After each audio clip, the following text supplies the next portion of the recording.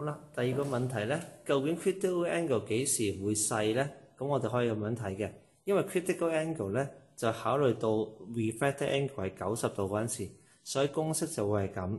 而 sin 九十度咧其實係一嚟嘅。